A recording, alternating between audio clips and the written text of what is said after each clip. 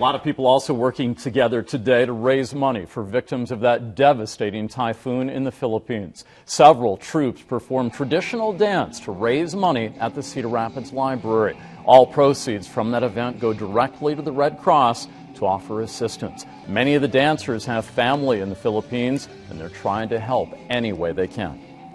It was horrifying. I mean, it was really sad. Most of us have come from the Philippines, so we already understand how hard life is over there already. So, seeing that, it was just really heartbreaking, especially when they haven't eaten for four days or seven days. When we had the flood of 2008, I mean, everybody came together to help businesses out, uh, people that they didn't even know.